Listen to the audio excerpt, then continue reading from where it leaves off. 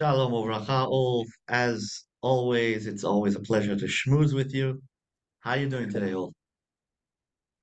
Um, yes, better after um, our little schmooze talk beforehand. You know, um, it um, I feel much better. Absolutely. So, Ulf, what do you what do you think about my what do you think about the time is now to expand 770? What do you think about that poster? Yeah, actually, you know, I, this one, in my heart uh, is currently with Jerusalem and with my brethren on Mount Zion and uh, with you guys. You know, we're going through an extremely difficult time, and um, it was um, you know the story on the expansion of, of 7070 you know hit on the um here on 11 i think on the 11th or something like this you know so anyway um i thought it was quite some distraction you know uh, it was uh, the day when the epstein client list came out and immediately 7070 came out conspiracy theories went wild. Like, I, I mean, I've never seen so much bullshit. Sorry, excuse my French.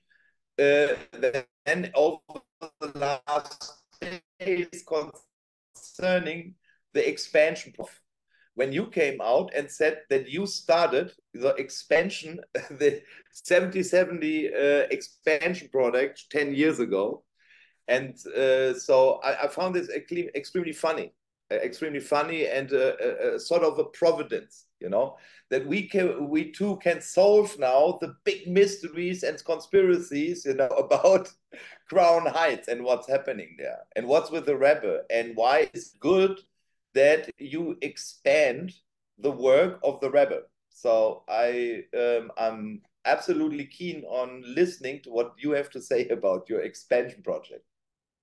Okay, thank you, Ulf. So first of all, here here next on the background it says Umisham. This is a sikha of the Rebbe. So this is a one of the Rebbe's speeches that was recorded. The Rebbe looked at it when they printed it, made sure that it's all good, and said it's ready for publishing. So the Rebbe, it says I, I highlighted a piece. The, of course, this design I made was 10 years ago. Um, and I highlighted the piece and it says, and from there it will return to Jerusalem we understand the greatness and the merit of every single one in Israel to be part of with his body, with his money, and the more is the better when it comes to building the house of Rabbeinu in Bavel, base Rabbeinu Shib Bavel, as a preparation for the coming down and the revelation of the future temple Teikef Umiyad Mamash. So, as a chassid, that of course, when the Rebbe says something, this is a, uh, you know, this is enough for me, you know, if the Rebbe says this is good. So when the Rebbe says that it's everyone should be involved physically and with their money to expand the synagogue. So as students, that was enough for us, you know. Now, they say that it's a tunnel, but it's not really a tunnel. There's different sections underneath 770 so um, the section uh, right next to the wall that they broke, that is the Gniza basement. That's a basement that they put all the the holy books that need to be buried. Okay, so buried. Yes. Let's say the book is ripped or it, it doesn't, it, you can't use it anymore in the synagogue, in the shul. So they have to bury it like a Jewish burial in the ground. And then the next basement has the menorah of 770. It's a very big menorah, um, similar to the type of menorah in the temple. It has the Rebbe's chair. It has special um, tables and, and stuff that they use. And then the next basement is the mikvah, which is the um, bath for you know the holy uh, for for for, for, for purification. For ritual bath. Ritual, yeah, bath. ritual bath. Yeah. So so really, it's quite amazing the the infrastructure under 770. It's very, very similar to what you would expect in the in the Holy Temple, really, if you think about it. Now, what the students did was they dug a hole in the wall from the mikveh to the basement of the um, menorah and all this, and they kept going all the way till they got to 770. Now, the idea is that the Rebbe already agreed that all this area, it's not like they were violating, you know, anything. It's already agreed by the Hasidim and by the Yeah, Rebbe of that. Of that this I mean, expanded. This, no, I'm okay, saying uh, the Rebbe also planned it. The Rebbe agreed to the plans, the blueprints and as well. You know? Yeah, but um, okay. So from a from a world perspective, because I read, you know, your article. You had uh, you published an article on MN Global, and um, actually said that one of the first issues was that it's uh, you know very was very sad that the uh, New York Police Department came in, you know, and that basically holy matters were treated by the goyim, by the police of the goyim. Now New York City over the last years has been um, you know on the very very downhill um, a persecution of Donald Trump, uh, the founding of the Federal Reserve 110 years ago. So it had just their birthday. And um, in a way, you had Chris Cuomo, who reigned supreme during the lockdown as a little dictator, you know, violating anybody's right, including the uh, our religious rights of freedom, you know, to come to Jerusalem, to live free, and so on, be, stay unvaccinated as a holy people, as a holy seed of Israel, to stay unvaccinated, to reject the um, whatever, you know, the poison death shot from Dr. Frank Zelenko. You know, great job. So when I heard about the first time the story, I've, I, the first thing I thought, oh my gosh, these are teenagers who give a fuck about the uh, what the city says about the rules. We do what's fun. So I, I mean, I personally, uh, you know, lived in several houses in Israel where because of the construction permits, you never get. So everybody has a, a, a, an additional cellar. You know, there and the the deeper you dig and the farther you go, well, the more space you have. So I thought it's the coolest thing. So as a teenager, growing up in 7070 in Crown Heights, where the whole road, they're all Hasidim, everybody knows each other, so that they come up with a project like this, I think it's pretty normal. You know, so no, nothing conspiratorial, nothing uh, out of usual. No, there were some kids, you know, who took the words of the rebel serious, not like some other schmucks. No, in full enthusiastic um, expectation of the coming of the Moshiach, and they started digging. Why not? So if I would grow up in 7070, I would dig too, more most likely to, to say that. I, I thought it was pretty cool, you know. Right, and, so and Ulf, I I, I want to add that um, you know some of the guys said, oh, they have mattresses there and this and this and that.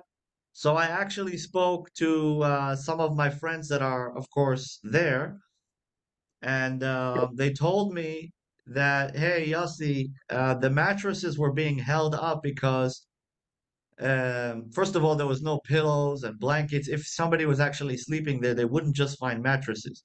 The mattresses are there because during the Tishrei months, many, many um, guests come from all over. So this is like a storage place. So they store mattresses. And the mattresses were being held up by the students because they didn't want the cameras to film the students in order that they shouldn't get in trouble. Um, so that's just that's just a small detail that I know from the guys that were there. Now, um, there's a few other issues. Number one, people have to understand that um, the Gabaim right now, unfortunately, so there's the Maskirus, which is the Rebbe's office. Now, after the Rebbe's passing, Yudah uh, Yudah Yossi, Yudel Yossi, so took over the, the 770. Yeah. Huh? you're using now a language which is very familiar to Hasidim. But for those, when we're going out now on YouTube and all the other channels, and uh, we explain this to um, you know guys, I think uh, should get an introduction of the inner works of a of uh, of the synagogue. You know, how does Okay. you know uh, and then of course how the ranks is in the synagogue and what's with the Beit Din and how this is all connected. Could you perhaps give there a little chupchik overview? Okay, so so the of course the Rebbe is the Nasi Hadar, the Rebbe is the leader of the shul. That's number one. Now the Rebbe has an office. In the Rebbe's office, people like uh, our advisor, Dr. Trapler, um, uh, Yudel Krinsky, and other people work in the office in different capacities, like a secretary, uh, Leibel Groner, you know, different drivers. Yudel Krinsky was the Rebbe's driver. Leibel Groner was the Rebbe's bodyguard. I don't know, likes to push people around. You have different people that worked in the office. Okay, so uh, and the, each one had a different role. You had, um, you know, the the the real hardcore Hasidim that they can hold a secret.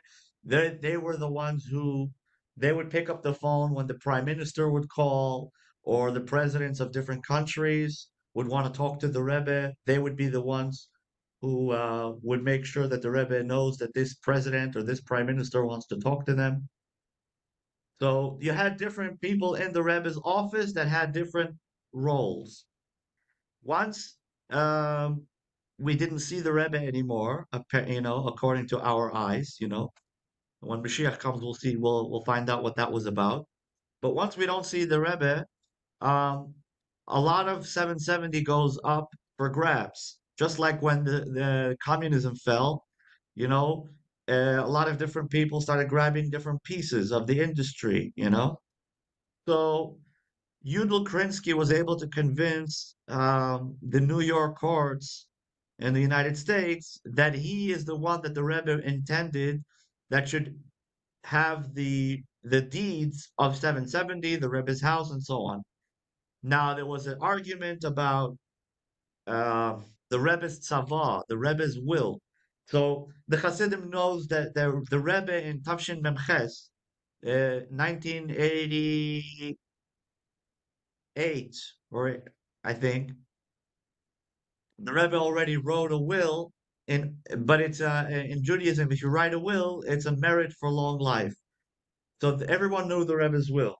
But Yudel produced a new will, and he said this was the real will, and somehow, for you know, by great coincidence, he's the one who gets the Rebbe's house on 770. So the Hasidim weren't sure if Yudel was honest, if he wasn't honest. Yudel wasn't trying to convince anybody in Chabad. Uh, he was just trying to convince the people that actually it matters, like the people in the courts. And once he convinced them somehow he got the rights to 770. Now, um, it still doesn't mean that whatever he says goes, because the Rebbe made it very clear that 770, the library of the books that they have from the Baal Shem Tov, and, mm-hmm. and so on, everything that's connected to the property of the Rebbe belongs to the Hasidim. Okay, this was an established fact. So, who's in charge of what the Chassidim want? The Gabayim. The Gabayim are the group of rabbis that actually run 770. Okay? They're the ones who, if you have a bar mitzvah, if you have a, if you're a chatan, you're getting married next week, you want to go up to the Torah. So they're the ones who actually run the shul.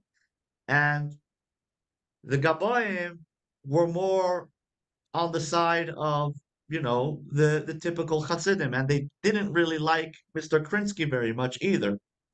Now, the situation turned out that as everybody found their place, the Gabayim and Krinsky started to go to war because Krinsky wanted to control 770 more, and the Gabayim wanted to control 770 more, and they started throwing millions and millions of dollars for lawyers and just throwing basically flushing good money down in the drain with the with the with the court systems of doom you know that and now the non-jews the lawyers the judges they don't care. It's jews fighting. They're not here to try to resolve the issue. As long as they're fighting they the you know the court doesn't mind unfortunately unfortunately you know um, i can confirm this you know this is the secular court system so of course in Germany it's not uh, necessarily the Jewish communities fighting, but the Christian communities. And as long like religious people fight in front of a secular court uh, uh, system, the, I mean, the seculars are the winners in our case, and the religious guys are always the losers.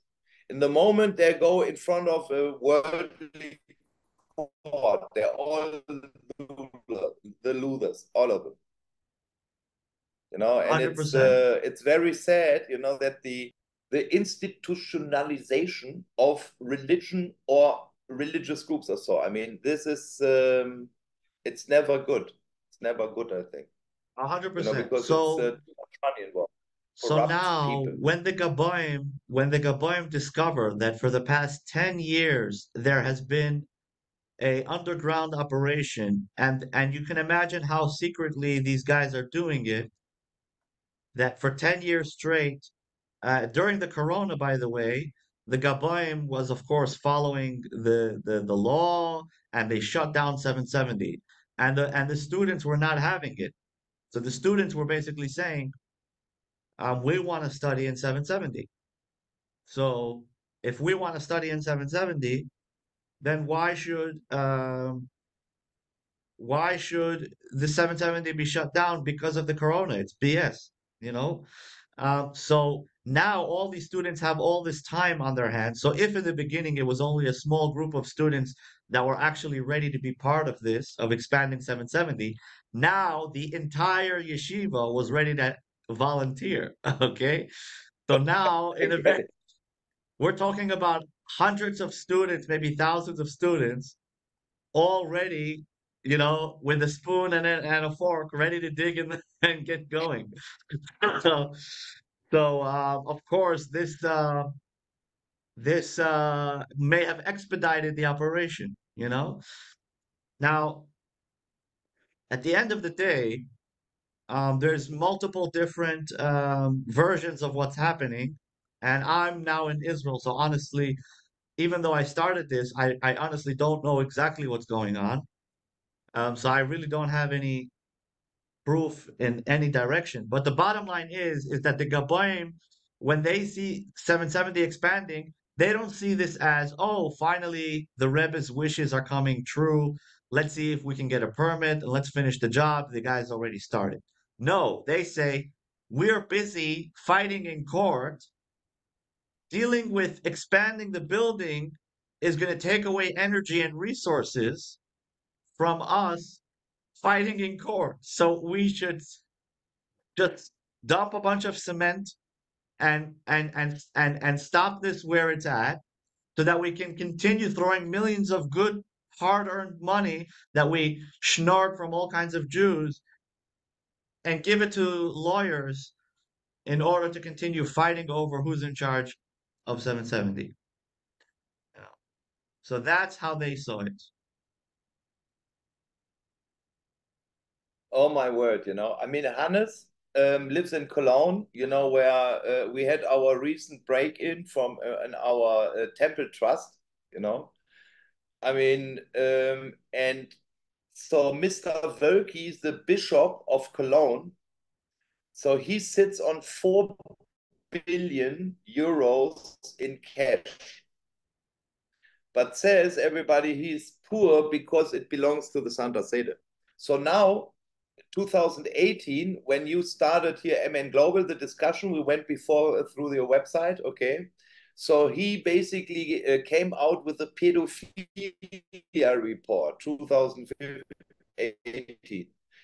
So in order for him to get rid of the accusation of his involvement, he spent millions, millions and millions of euros, you know, so that he's not getting caught by the police that nobody's questioning it, you know?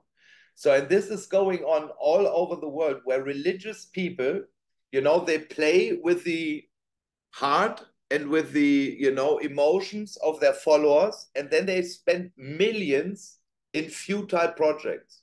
It doesn't matter. Jews, Christians, liberals, Marxists, very important. Marxists are very, very keen on dragging people to court, like we see currently in New York what's happening with Donald Trump, um, where we're saying, okay, so this is uh, it's it's part of business. You know, and it's part of a business, Yossi.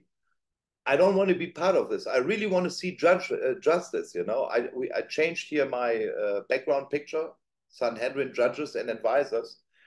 I think we are at a time the world is crying for justice because mm-hmm. they cannot stand to see how officials use and waste millions and billions of dollars and uh, euros for crazy projects while uh, there is no justice. Only for their own benefits. You know, and I think then becomes operational as soon as possible. And you know, this is a cry of an Efi, you know, of Ephraim for the nations, of an ultra-Orthodox Noahide to all Orthodox Jewish rabbis please get your act together, get in touch with Joseph, the leader of the Sanhedrin Initiative, and make the Sanhedrin functional for all the families of Israel. It's of vital importance. We cannot allow anymore that unbelievers, Marxist, radicals, interest groups can judge over us as a holy people. It's, and I think the time is better than ever because currently there is no court who really speaks justice. It's just who has the most money is going into a lawfare. And, you know, when you are thrown dead with money by lawyers, okay, that's it. You have to give up. I mean, we saw this with General Flynn. He he couldn't continue. It cost him millions of dollars to, uh, you know, defend himself in court, and and then he said, "Okay, I give up. Okay, I'm guilty." Was he guilty? No, I don't think so. Yeah, but he was pushed into this. All right. And this also, is a system. It's currently. Hundred percent, and I agree with you. The the justice system in the world is uh, is out of commission, and that's why the Sanhedrin is necessary. Um, today I actually spoke to uh, an Arab friend uh, in the in the repair shop, and I told him that the main uh, two of them actually, and one in the gas station, one in the repair shop, and I told both of them that the most important thing for Arabs today is to separate themselves from the the atrocities that Hamas is involved in. Because if you cannot separate yourself from those things, um, then you are going to be counted in in the punishment. I think that all, um, at least um, uh, if I have to compare the Japanese to the German, and in the way they took an attitude after the war, the Germans at least uh, manned up to what they did. There's a lot of education about the Holocaust. It's a it's a legal offense um, to deny the Holocaust in Germany anti-Semitism is is punishable uh, by law, and uh, the educational system makes sure that uh, people are aware of, you know, what happened.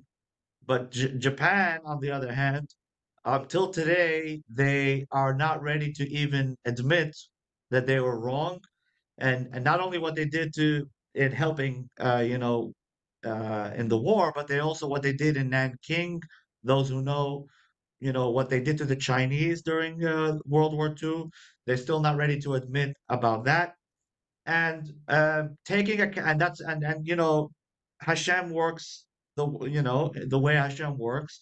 We see that they're having uh, earthquakes and tsunamis, and it's not it's never stopping over there to a point where it's not even news anymore. You know, Japan, it, you know, uh, there's this scam. Uh, you know, Japan is trying to get more people to come back to Japan, and they're basically uh, offering people houses for like a thousand bucks, but they're not even worth uh, you know one penny. Um, so the situation there is just in the decline, of course, and so on. But I think that at least um, when you divide yourself from a sin, you're already in a better position. But that's only the first step. Of course, the next step is, of course, in the Geula process to establish the Sanhedrin. And, and on that, I would like to say that this past week we had a conference in Yerushalayim. Rabbi Yehuda Chayek, of course, Rabbi Tzvi Idan, Professor Avram Ehrlich, and many others, uh, Breslover Hasidim, um, uh, Polisher Hasidim, uh, Litvischer rabbis, Hungarian uh, uh, Hasidic rabbis. We had rabbis from all across the the the the religious um, spectrum, Yes. yeah, all get together and talk about how important it is to actually put together a Sanhedrin as, first of all, that there should be justice, and second of all, as a tool um, in the arsenal of the religious Jew in the Geula process. So, thank you very much, all, for plugging uh, the Sanhedrin and, and you know your message to the Jewish rabbis. And uh, I actually uh, have good news that uh, one of the Chabad rabbis, a big uh, Torah scholar that we've been in touch with, um, is going to write a draft for a psak din that the Sanhedrin should uh, put out. So hopefully, the next time we get together, uh, we're going to have a psak din that we can pass around uh, the judges uh, to see if they can agree on it and pass it in relation to Mashiach. It's a very articulate, legal, halachic document, and uh, we hope uh, to continue in this work. Of course, as you know, uh, we've been covering the issues in the war. There's a new issue regarding how to deal with the bodies of the soldiers that die in Gaza. There's different organizations that are trying to, uh, you know, take body parts and, and uh, you know, organ donor operations. There's different laws in the Torah against violating the dead. Of course, uh, there's a lot going on and there's a lot to be addressed, and we're trying to uh, be on top of all the halachic questions that come that come up. You know, Bezrat Hashem. Yes. So we are now 100 days and uh, 100 days uh, at war, and um, so it's um, you know uh, we had this uh, incident in The Hague where um, Israel was accused of genocide. I think this is off the table, you know. But uh, what Patrick uh, yesterday pointed out that you know after 100 days, if the Hamas wouldn't have been stopped, we would have 120,000 dead Israelis and dead Jews because this is how much Hamas killed on the first day in a, the most brutal way. So now they're complaining that because you know their leadership are cowards and they hide behind uh, their own family members and so on. Apparently, there are 30,000 people were killed by Israelis now during the um, the strike. So it's in no comparison. It's no comparison. And uh, so what Hamas did is indeed genocide. And I think you know a lot of people they do not understand that it's not because you killed somebody it's immediately genocide. There is a letter of the law, you know, it's U.S. Code Title 18 of the Penalty Code, you know I think um, paragraph 1092 or so. You know, so there is a definition on what it means. You know, so when you target in specifically one group of people for annihilation, well, then it's genocide. So what the Hamas did, they targeted Jews, they targeted Israelis.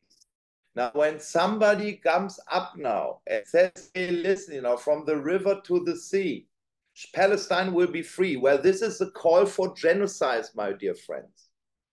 This is the more because it targets one group and one specific group. It targets Jews. Okay. Now, when the IDF retaliates, it doesn't retaliate because they're Palestinians or whatnot. No, they're Arabs. No, he, they are targeted, striking military targets.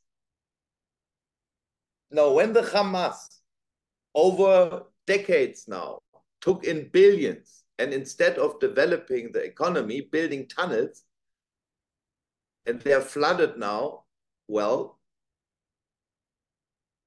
malchance. Uh, what's what? How how would how would you say that? Yeah, I what said, can okay, what can you expect? And and Ulf, I want to say that right now what's happening in Gaza is that the is IDF is founding is finding uh, caches with weaponry, you know, huge stockpiles of weapons that, um, you know, if you just think about, like you said, if you think about these weapons being used against Israeli targets, you Yes. you will get to a hundred thousand death. Now, Yossi, I'm thinking about this since the time I was there. Now the stockpile of rockets grew. You know, at the time when the the second Intifada started, you know, so there were an estimated 50,000 Katyushas, you know, stored uh, from the Hezbollah. So now it's 250,000. I mean, they heavily uh, put up their game. Incredible. Now, through the tunnel system of Hamas, they're smuggling now for 18 years, since 2005, since Ariel Sharon basically made Gaza Judenrein. You know, it's a, it's a great idea of the left, you know, take the Jews out, 5,000, they deported them out of Gaza, and then Hamas took over. And then since then, they are sucking everything out to build up what we saw on uh, October 7th. You know? All right. Oh, so right now it, the the military the military is taking a lot of these um, weapons of the Hamas, especially the crappy ones, and they're putting it in, in the tunnels, and then they get their um, they get the special units that know how to detonate the whole yes. thing. So they're blowing up the Hamas in their own tunnels with their own weapons. Yes. And uh, that's what's happening right now in Gaza. Now, all of this pain and suffering could be avoided if these people wouldn't be so jealous and hateful of the Jewish people. If they, instead of looking at the Jews, they would look at themselves, look at what they can contribute to society, look at what they can build, look at what they can do. They could have turned uh, Gaza into Dubai, and then the leftist liberals would get their way. But there's a reason why Hashem in the Torah says how the Jewish people should conduct themselves in Eretz Israel. It's not because Hashem is unjust. It's exactly because Hashem is just. Hashem knows exactly which children deserve which pieces of land, which which which actions are fair and just, and and if we would only follow the Torah, and then we would realize that Hashem doesn't make mistakes. You know, the reason why Ishmael was sent away was because he wanted to kill Yitzchak. And when and when he when Sarah said, "Why are you shooting at my son?" He said, "No, no, no. I'm just playing. I'm just playing." And this is the same thing we have with the Hamas. They shoot at Israel, and then they say, "No, no. We just want a ceasefire. We just want a ceasefire." It's the same thing. So any issue that we have today, we just need to open our eyes and look in the Torah, and we have the answer as long as we take the Torah seriously and we know that what Hashem says is applicable to today, we look at the nature of the situation right now, nothing has changed. Nothing has changed. Israel is a tiny piece of land, this big. You know, on the map, it's a tiny little strip of land. The Arab nations have the whole map. There's no reason, yes. There's no, no reason why everybody should want it. Edom, the Edom, the you know the the Empire of the Beast, the fourth beast. It's also huge. It's also huge. Yeah. You know, yeah. But it's um, very important um, what you said. It is very important for everybody to read the Torah for themselves, to study for themselves. You know, um, so we found this out now for for so long. You know, I mean, um, all the people who studied with us now in Germany, sometimes now for seven years, eight years, nine years, okay? So once you open up the eyes of a, uh, somebody, you know, to the reality of Jerusalem and how this is connected with the Jewish people and the Bible and what modern politics is all about, you cannot go back to sleep. You cannot go back to sleep. So in the moment you start really reading the Bible and you read the prophets and so on and so on, it's better than reading the news. Because you know the news are fake, but the war around Jerusalem, what's happening, this is real. It's absolutely real. but it's a it's a a, a, a war which is fought with deception, with um, misinformation, with the lies, and so on and so on, corruption. But the Torah is the measurement. It is the the book of truth, of life, of the source of uh, eternal life. And uh, once you know what's written in the Torah, nobody can cheat you out of anything. 100% off. You I want to so I want to say that we're going into the month of uh, Shvat. We're now uh, Vav Shvat, and soon we're going to be in Tu B'Shvat, which is the the Chag HaIlanot, tree. the the holiday of the trees. And it's a very big question, and I want to say this in the name of uh, my brother-in-law, Yonatan, which uh, is a great uh, Torah scholar. And uh, he says that it's a very big question. Why why does Hashem say that we should celebrate Tu B'Shvat, the new year of the trees? What's the point of this? And of course, we know that it says Ki ha'adam etz hasadeh. Ha'adam is the man. Ha'adam etz hasadeh. The man is like the tree. Now, ha'adam is with he'ayidiyah, which is the man goes on all mankind. We have, for example, in the Noach, it says Yetzer ha'adam rami ne'urav. The inclination of the man is is evil from when he is young. This is how Hashem kind of justifies the fact that people sin. Okay? So when we talk about ki ha'adam etz hasadeh, we have to understand what the Torah is telling us. Of course, this is in the Torah. This is not in the Talmud. This is in the Torah. And the Chassidus and the Zohar explain that we know that, and we'll start with the Rambam. With the Rambam says, "Ki mal'ah haaretz dea et Hashem kamayim layam mechasim." That when Mashiach comes, the world will be covered in the knowledge of Hashem, like the water covers the ocean. And we know that en maim ela Torah. Water is like Torah. And like we spoke about a little bit earlier, we mentioned fish. So in this context, what's beautiful about the fish is that when you see a fish in water, you see that he cannot be separated from his source of life. So too, um, we know that the Jewish people are also compared to fish. Yisrael nimshela ledagim, uh, in many aspects. But one of the aspects is that they they survive in the Torah. Okay? Now when Mashiach comes, the entire world will survive in the Torah.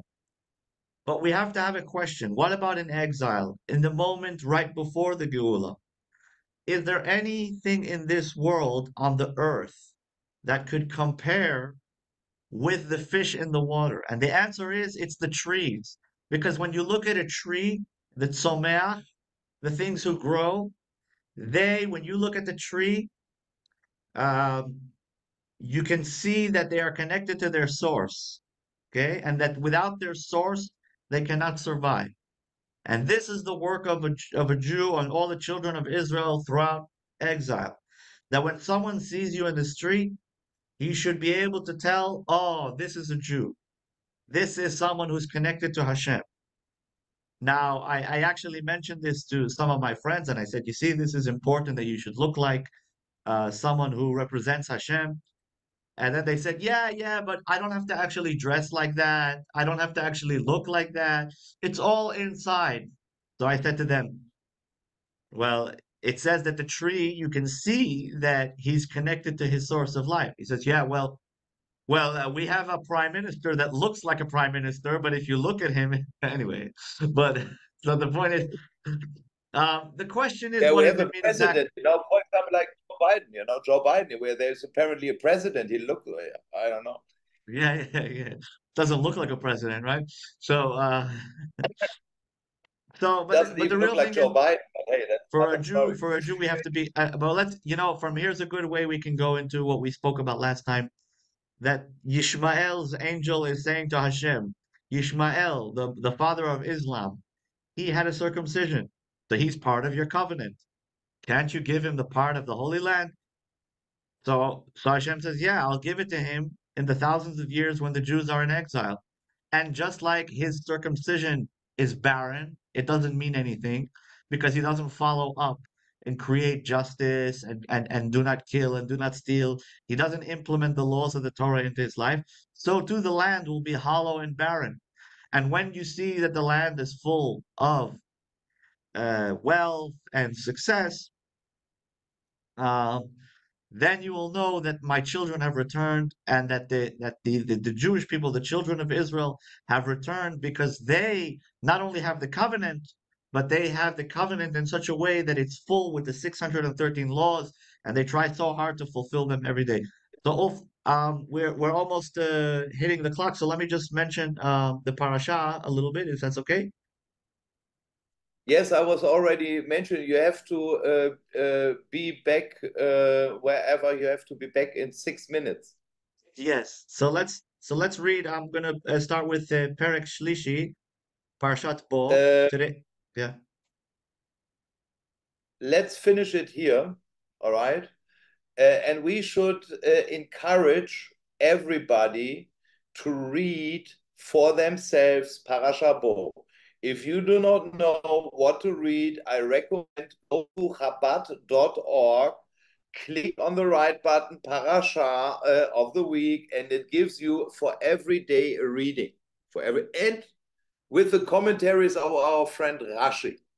Of course. Of one, one and uh, for the... but but oh, the Rebbe teaches us to lead. But I, will just say one one verse, okay? One verse that I have here open in front of me. Okay, so, one verse. Okay, okay, one verse. Okay, but and then says, I will also put one. Okay, so it says, "Vayikra Paro el Moshe, Vayomer, Lechu ivdu et Hashem rak tzonchem uvkarchem yutzag gam tapchem yelech imachem." So Paro says to Moses, in other words, he starts to break under the pressure, and he says, "Go serve your your God, but leave the the sheep and the and the animals behind." also your children can go. So of course he's already he's already suffering. This is already the eighth uh, plague that Pharaoh is suffering, and uh, the locusts. Yeah, so so Pharaoh is already pretty desperate, you know. So he's saying, okay, you can go, your kids can go, your wives can go, but leave the leave the sheep and the and the and the and the animals behind. So Moshe tells him, um, you are going to give us permission to go with our sheep and with our animals, and we will go to we will go to serve Hashem. And then Pharaoh says to to uh, to Moses, "Don't you dare ever show your face to me again." Right? And Moshe says, "Yeah, that's exactly how it's going to be because you're going to be chasing me." and of course, we know the famous uh, the Pharaoh running around in pajamas looking for Moses. Anyway, go ahead, Ulf, closing statements, and if you would like to put your verse in as well, please. Yes, um, um, I um, you know mentioned this beforehand uh, because we had this um, in the parasha, of course, in the first uh, parasha of Exodus, 422. Tell Pharaoh, Israel is my firstborn son. All right. So, and let my son um, go to serve me in the desert. So the modern day Pharaoh today is this this dude in white, and we talked about this very. And he, you know, last week, and I found this extraordinary. So the Pope encourages Marxists and Christians to fight corruption and uphold the rule of law in this coordination, I said, okay, it's very important to understand that today we are living in the order, in the legal order built up by that Roman Pontifex Maximus, by Rome. But the children of Israel, and this is now what we learn again, you know, Exodus 19:6, we are a kingdom of priests. So when when I'm going out as priest of the order of Melchizedek and so on and so on, nobody should complain about it because everybody from the children of Israel are called to be priests for Hashem. This is what you said, you know, that, um, you know, how are we? Yes, you should all be a kingdom of priests we are a holy, a holy nation. nation. Yes. Exactly, a holy nation. So, and this is currently, when you think about this, that currently the Marxists and Christians are asked by Adam to uphold the law. And I said, okay, listen, something is extremely off here because everybody can read the law of Israel is the best law there is. It's the Torah. It's uh, it's holy. It's spiritual. It's eternal, and the world should uphold this law. And this is what we are fighting for in the Sanhedrin initiative, of course, with the nation of Ephraim on Torah Club and everything. And this was my last push for the day. My last right, words. well, thank you so much. And I'm happy that we were able to show that we don't just tell people what to do, but we can also practice. And just because we don't have a lot of time, everybody can follow. We have our uh, shiur that we do. We usually spend a lot more time with the uh, Torah portion, but unfortunately, we have a lot of important things to do. Thank you so much, Ulf. It's always a pleasure. I hope. Thank we'll Joseph. Likewise. See you soon.